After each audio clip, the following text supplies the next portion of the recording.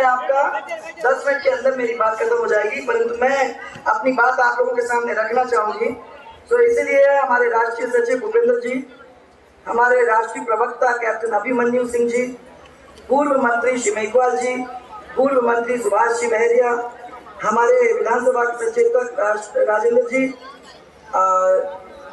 पूर्व मंत्री डॉक्टर हरि सिंह जी, प्रदेश उपाध्यक्ष डॉक्टर दिगंबर सिंह जी मेरी खुद की बहू निहारिका राजे जी, विधायक राधेश्याम गंगानगर, और बंशीधर चिकनडेला और प्रेम सिंह जी बाजोर और कल्याण सिंह जी, और जिला प्रमुख पुखराज, पूर्व जिला प्रमुख पुखराज पहाड़िया जिला अध्यक्ष हरिराम जी रेणवा जी, और कोई बचा है क्या?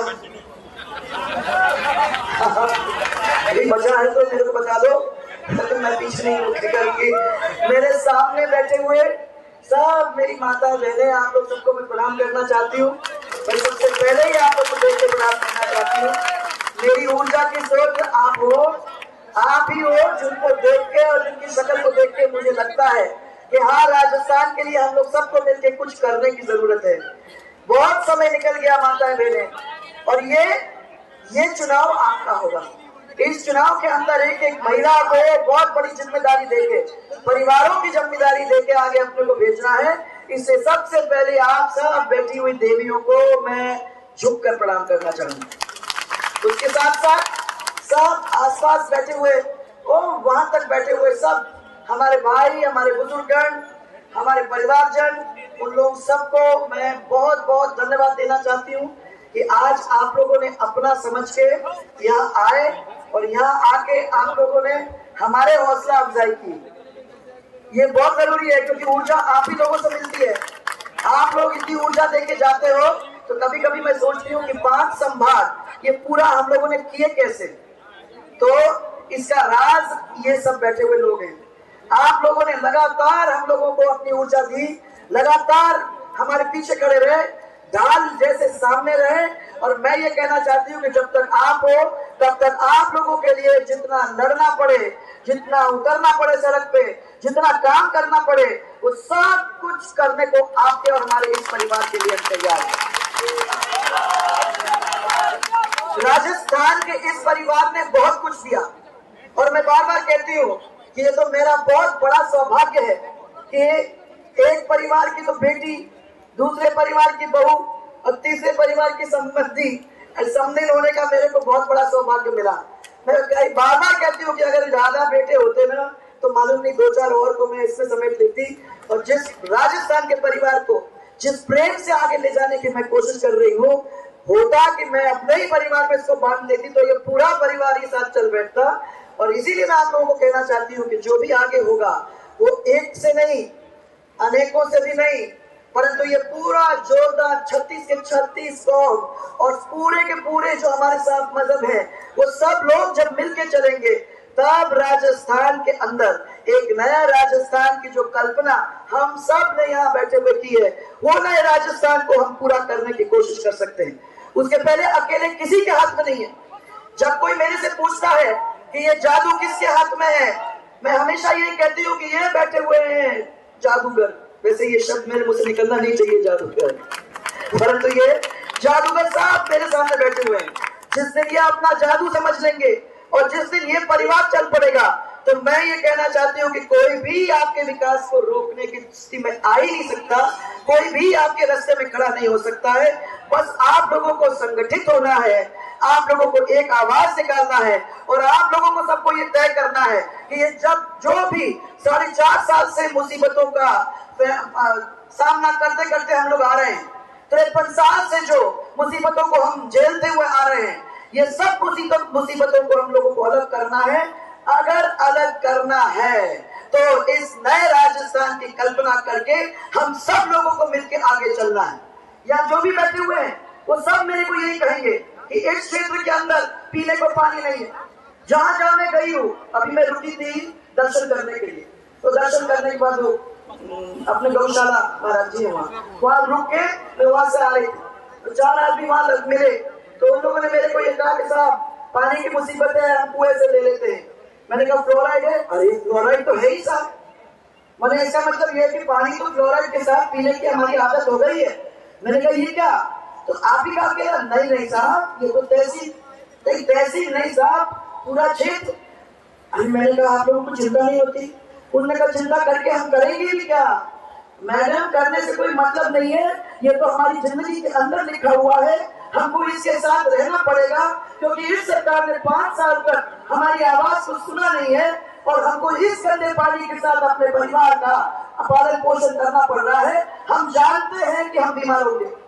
हम जानते हैं कि इससे आदमी कुबड़ा हो जाता है। हम ये सब जानते हैं। परंतु हम करेंगे क्या? ये पानी पी के आगे बिना पानी के हम कर ही नहीं सकते। इस पानी को हमको पीना ही पड़ रहा है, ये माता बहने। आज आप लोगों के ऊपर कितनी बड़ी कितना बड़ा संकट है, वो मुझे समझ में आ रहा है। आप सोचते हो कि मेरे बच्चे को ये पानी पीना पड़ रहा है, परंतु कोई और उपाय नहीं है। इसीलिए उसको पानी पिलाना ही पड़ रहा है। मैं देख रही थी कि शहर के अंदर फिर भी ये फ्लोराइड पानी 20 मिनट के लिए मिलता है। घरे भर भी नहीं सकते। पानी कंप्लीट भी नहीं ला सकता, ये दूषित पानी है, परंतु इस पानी को हम लोग ले सकते।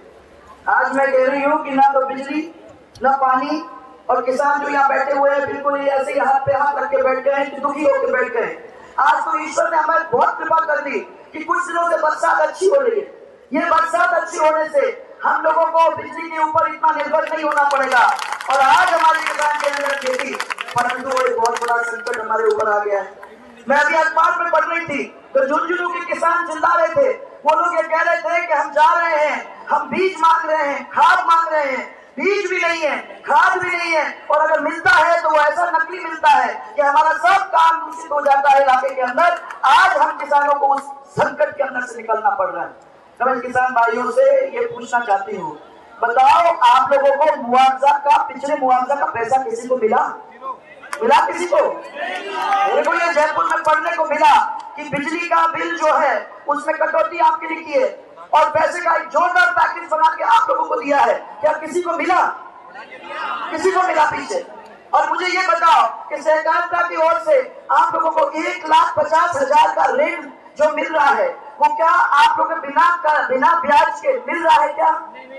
किसी को मिला? किसी को नहीं मिला। आज हमारी माता और बहनों सुरक्षित नहीं है। आज हमारे बच्चों को नौकरी नहीं मिल रही है। अभी मैं बताना चाहूँगी आपको कि जयपुर के अंदर ये टैग के खिलाफ हमारे बहुत सारे बच्चों ने बहुत जोरदार प्रदर्शन किया, अंबेडकर सर्कल पे। उसमें बच्चियाँ भी थी, उसमें बच्चे भी थे। उनकी इतनी जोरदार पिटाई हुई है। जोरदार पिटाई होगी उनको जेल के अंदर बंद कर दिया गया है। आज सरकार के सामने हम अपनी बात को रखने के लिए भी नहीं जा सकते। आज ये स्थिति हुई है।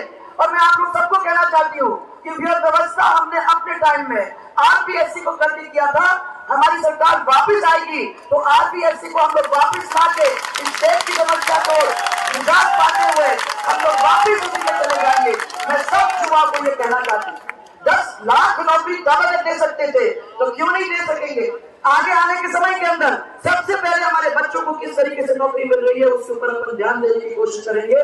और माता बहने, ये भी मैं आपको विश्वास दिलाना चाहती हूँ कि राजस्थान के इतिहास में पहली दफ़ा हम लोगों ने अलग से लाइन, सिर्फ़ घरेलू लाइन नाम की सिंगल फ़ेज़ की बिजली आप लोगों के लिए निकाली थी।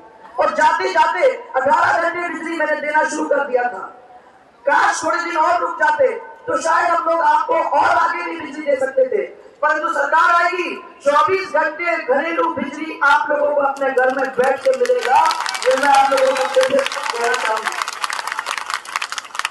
मैंने आज मेरे पास एक अफसर ने कागज़ दिया। आप सब लोग जानते हो कि गणना होती है और सरकार किन्हीं किन्हीं अफसरों के पास गणना कराने के लिए उनको कागज़ भेजती है। अब ये नोटिस गया, हमारे कुछ टीचर्स थे जिनको ये गणना के लिए उन्होंने कागज़ दिए।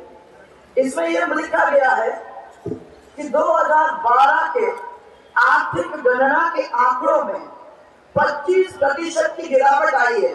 अरे भैया उद्यमी छोड़ के चले गए। कोई यहाँ निवेश नहीं कर रहा है। तो वो तो गिरावट तो आएगी आएगी तो उसने ये कहा कि 212 के 2012 के आर्थिक गणना के आंकड़ों में 20 प्रतिशत की गिरावट आई है। अतः आप अपने क्षेत्र का गणना रिकॉर्ड पुनः प्राप्त कर उद्यमियों को का सही आकलन करा। प्रपत्र छह ए और छह बी में सुधार करके मीनिंग झूठ लिख के एक तीन दिन में पुनः प्रस्तुत करें। अन्यथा मानदेय पर विचार नहीं किया जाकर अनुशासनिक कार्रवाई प्रस्तावित की जाएगी। इसका मतलब ये हुआ कि आप लोग नहीं करोगे और गलत नहीं लिखोगे। तो आपके मानदेय के ऊपर हम देखेंगे और आप लोगों को दंडित करेंगे। मैंने पूरे राजस्थान के लोगों को झूठ बोलना कि एक्चुअली में क्या हो रहा है, क्या मामला है, उस मामले को किसी के सामने नहीं लाना, ये है वो सरकार, जो झूठ और परेड के ऊपर जलती है। और ये सोचती है कि अगर बहुत दफ़ा झूठ बोल दो तो वो सच हो जाएगा, और सब जनता उन बातों के अंदर आ जाएगी। मैं उनको ये कहना चाहती हूँ कि जनता की आँखें पूरी तरह से खुल गई है। हमने देखा आपके इस क्षेत्र के अंदर कितनी कितनी आप लोगों ने मांगे की। किसानों को 24 घंटे बिजली 24 घंटे बिजली भाइयों, अभी तो आठ घंटे बिजली नहीं मिल रही है। अभी तो तीन घंटे, चार घंटे बड़ी मुश्किल से मिल रही है। और अगर आप लोग सही तरीके से रिश्वत नहीं दोगे, अगर आपका ट्रांसफॉर्मर बिगड़ जाता है तो वो ट्रांसफॉर्मर भी सही टाइम पे नहीं आता है। तो अपन लोग आठ घंटे तक तो पहुँच जाए। और प्याज मंडी मुझे याद है, रशीदपुरा के अंदर मैंने अनाउंस किया था, वो प्याज मंडी सरकार अपने आते ही वापस आएगी। और इसके साथ बेरोजगार शिक्षकों को क्यों मेरे से पूछते हो? टेट की परीक्षा के बारे में दस बार मैंने कह दिया कि दस लाख लोगों को बच्चों को फिर से नौकरी देने का काम अपन करेंगे और उसको आरपीएससी के द्वारा कराने का हम लोग करेंगे। इसलिए उनकी चिंता मत करो। जहाँ तक लक्ष्मणगढ़ शहर में गंदे पानी का निकासी यार, इतनी सुंदर तो आप लोग की शहर है। इतना सुंदर शहर है, उतनी गंदगी फैली हुई। यह ज़रूरी है कि इसके अंदर जब पानी आता है तो उस पानी को किस तरीके से रोका जाए, उस नगर की इस मुसीबत को देखने का काम सरकार करेगी। पर मैं आपसे पूछना चाहती हूँ शेखावटी यूनिवर्सिटी चालू हो गई क्या? मैंने सुना एक कदम आगे बढ़ गए। बधाई हो आप लोगों को। वीसी आ गया। ये बहुत खुशी की बात है कि आप लोगों को ज़मीन हमने दी थी। आपको, हम लोगों ने पैसे का इंतज़ाम हमने किया था। अब हमने वीसी जोड़ दिया उसमें। तो हो सकता है कि कुछ कदम आगे आप लोग बढ़ गए हो। आपने सुना होगा अभी ये झूठ का पुलिंदा जो चल रहा है, कि कुछ झुंझुनू के अंदर खेल यूनिवर्सिटी, हम खोलने जा रहे हैं। खोलने जा रहे नहीं, खोल दी। इनका क्या हो गया है? इनकी उपलब्धि और इनकी घोषणा में कोई फ़र्क नहीं है। ये जब अपनी उपलब्धि के बारे में बोलते हैं तो उसको अपने घोषणा के हिसाब से बोल देते हैं। घोषणा करते हैं और सोचते हैं कि ये हमारी उपलब्धि हो गई। मैं ये कहना चाहती हूँ कि ना कोई खेल यूनिवर्सिटी खुली है, ना कोई उसको ज़मीन मिली है, परंतु अपनी उपलब्धि के अंदर उन्होंने इसका नाम ज़रूर लिख दिया है। एक सैनिक स्कूल ज़रूर आने वाला था, आपको याद है? झुंझुनू में पास पास। तो एक आपकी शेखावटी यूनिवर्सिटी और एक आपका सैनिक स्कूल परंतु वो सैनिक स्कूल भी घोषणा घोषणा में पड़ा हुआ है और वो आगे उससे बढ़ नहीं पाया है। यहाँ बैठे हुए अगर कोई सैनिक है तो उन सैनिकों को मैं कहना चाहती हूँ कि बड़ा आदर सत्कार हमारे परिवार का आपके लिए। मुझे याद है, अटल जी ने मुझे आप लोगों के बीच में भेजा था।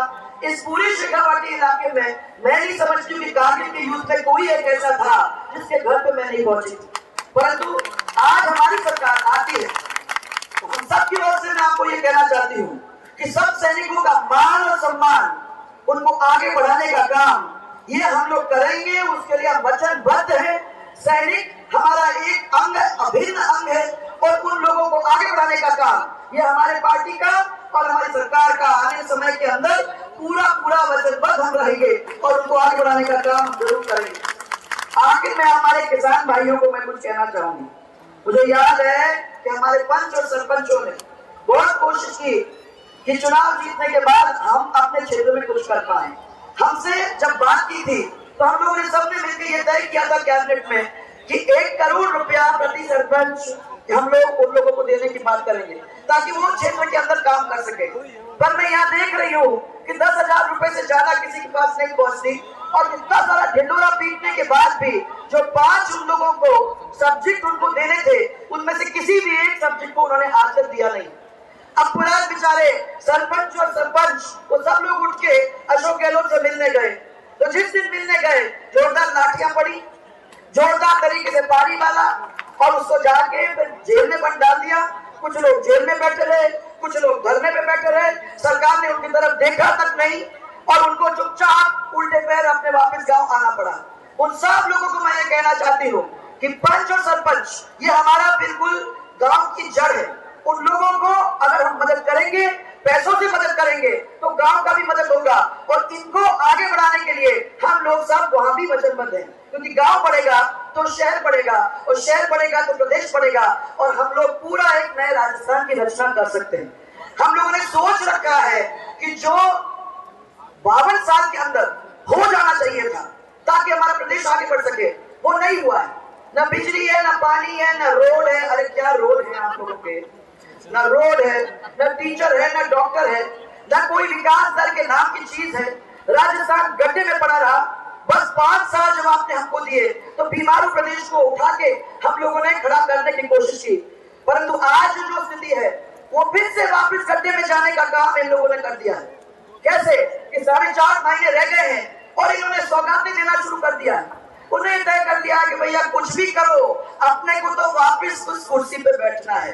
और हम सबने ये तय कर लिया कि कुछ भी करो, इस बार उस कुर्सी पे वापस आपको हम किसी भी हालत में बैठने नहीं देंगे क्योंकि आपने हमारे पूरे राजस्थान को नष्ट करके छोड़ दिया। जो लोग हमारी महिलाओं की इज़्ज़त नहीं संभाल सके, जो लोग हमारे बच्चों को मार मार के उनको जेल में डाल रहे हैं जो हमारे व्यवसायियों को अपने प्रदेश से भगा रहे हैं, जिनका विकास दर पाँच प्रतिशत हो गया है, जहाँ बिहार का सोलह प्रतिशत है। अब मैं ये पूछना चाहती हूँ भाई और बहनों, ये नया राजस्थान का जो सपना हम लोगों ने देखा है, उसको पूरा करने के लिए हम लोगों को, आप लोगों को सब लोग मिलके कुछ काम करने की तैयारी करेंगे कि नहीं करेंगे? है क्या मन? है क्या मन? अगर मन है तो देख लेना। यहाँ जो बटला है सौगात आपको साड़ी नहीं मिली, चलो पैसा ले जाओ। आपको चावल नहीं मिला तो पैसा ले जाओ। आपको साइकिल नहीं मिली तो पैसा ले जाओ। आप लोगों को, बच्चों, ये बच्चे भी हैं अच्छा आंगनबाड़ी जाते हैं तो उनको कुर्ता पजामा भी ले जाओ। और अगर चाहिए आपको, ठीक है, चलो। आपको एक प्लेट और दो कटोरी भी हम दे देंगे। हम तो जो आप चाहते हो देने को तैयार है। बाड़मेर के अंदर चौदह सौ करोड़ पानी का प्रोजेक्ट चालू कर दिया। ये तय कर दिया कि जयपुर मैग्नेट सिटी बन जाएगी, भरतपुर एनसीआर में आ जाएगा और क्या बोलते हैं, मेट्रो अलवर कोटा और जोधपुर में चले जाएगी। अब कब जाएगी? अभी तो 30 किलोमीटर नहीं हो पाई यार। और ये हम लोगों तीनों सिटी के अंदर लाने की बात कर रहे हैं। अरे दस साल आगे की बात मत करना। आप तो अभी की बात करना, क्योंकि दस साल तक तो आप जा ही नहीं पाओगे। ये चुनाव के अंदर ये जनता ने तय कर दिया है कि उस कुर्सी से इस झूठ बोलने का और काम नहीं करने का जो असर होगा, उसमें आपको उस कुर्सी से उतर के नीचे आना पड़ेगा। क्योंकि तिरपन साल के बाद नहीं काम करने का एक बहुत बड़ी ज़िम्मेदारी आपकी है और जो लोग ये काम नहीं करते, उनको जनता की सेवा में जनता रखने नहीं वाली है। यह विश्वास करके मैं आगे चल रही हूँ। अब आप लोगों के सामने आपने देखा होगा, लोग आएँगे, आपको डराएँगे और धमकाएँगे। मैंने आप लोगों को एक तो उदाहरण दे ही दिया कि आप लोग नहीं करोगे तो आपका मान दे और उसके बाद फिर देख लेना। लुटाएँगे भी, आपको लुभाएँगे भी और आपको डराएँगे भी। परंतु इन सब चीज़ों को अपने को ध्यान में रखना, ये तो करेंगे। परंतु आप में इतनी हिम्मत है क्या? और आप में इतनी तैयारी है क्या? कि आने वाले समय के अंदर इनमें लड़ने की तैयारी है क्या? बताओ। लड़ने को तैयार हो? अगर हो तो दोनों हाथ ऊपर करके बताओ कि हम हाँ तैयार है, लड़ेंगे। लड़ेंगे तो फिर एक जोरदार नारा हमारे साथ देंगे। जय जय राजस्थान। नारा। राजस्थान का एक नारा। जय जय राजस्थान। और एक भारतीय जनता पार्टी के लिए। भारतीय जनता पार्टी।